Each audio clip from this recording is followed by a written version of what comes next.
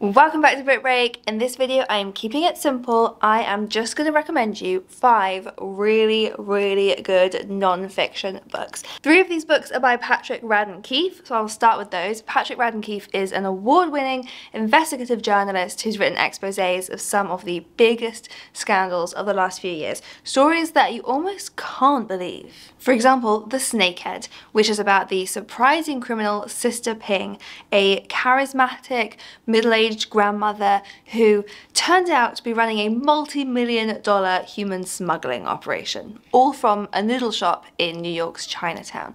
She was arrested in 2000 and eventually sentenced to 35 years in prison. And in this book, Patrick Radden Keefe dives into the whole unbelievable story from the inner workings of her operation to the decades long FBI investigation that finally brought her down. And he also explores the stories of immigrants desperate to come to the US and the myriad of ways that they are exploited. Empire of Pain by Patrick Radden Keefe is about the Sackler family dynasty and their role in the opioid crisis. So if you watch the shows Dopesick on Hulu or Painkiller on Netflix, this is the story behind behind those shows. And it is truly terrible and unbelievable. In the book, Patrick Keefe explores all the ways that generations of this family have benefited and made unimaginable riches from making and marketing a drug that has killed nearly half a million people. And the book reads like this family saga. It's like watching a series of Succession. It's absolutely extraordinary, but it's true, and they really got away with this. And just one more recommendation by Patrick Radden Keefe. In Rogues, you get 12 stories for the price of one. This is a collection of 12 profiles of grifters, killers, rebels, and crooks. And all of the profiles are written with Patrick Radden Keefe's trademark humanity and meticulous research that really brings these people to life. Let's have a look at some examples. A whistleblower who dared to expose money laundering at a Swiss bank is either a hero or a fabulist. One of the stories is about the quest to bring down a cheerful international black market arms merchant. And there's a passionate death penalty attorney who represents the worst of the worst. So this book is just full of stories that, again, you almost can't believe.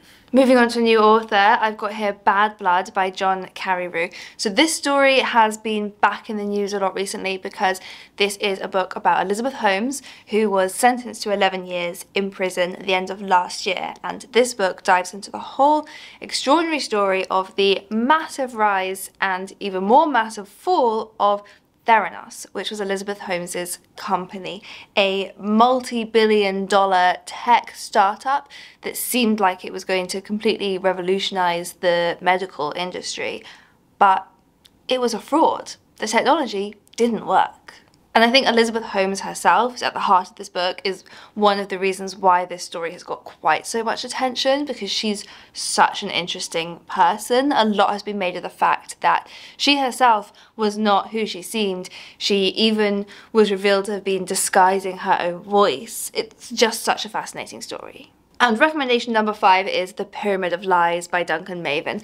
This tells another incredible rise and fall story, this time of Lex Greensill, the Australian financier who set out to reinvent supply chain finance. And bear with me because I don't know what supply chain finance is either. Lex Greensill is fascinating because he was a billionaire, he owned private jets, he thought he was going to be knighted, his office had a suit of armour in it, but most average people had never heard of his company until it collapsed in early 2021 and exposed a massive multi-billion dollar scandal that nearly brought down the British government. Global CEOs, Swiss bankers, politicians, former Prime Minister David Cameron were all drawn in to this story as it was revealed that Lex Greensill had been granted access to the inner workings of the British government, had been granted special favours from people who thought he might make them rich, all while taking increasing risks with other people's money and putting tens of thousands of jobs at risk. So it's another story that you have to read to believe the meteoric rise and fall of Lex Greensill,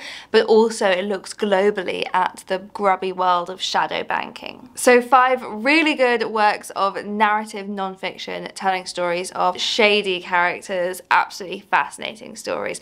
I would love to hear your recommendations. If you've got any books like this, do write them in the comments below and I will link here to a playlist of all of my other non-fiction recommendations. So you can click through and get plenty of ideas for what to read next and I'll see you next time.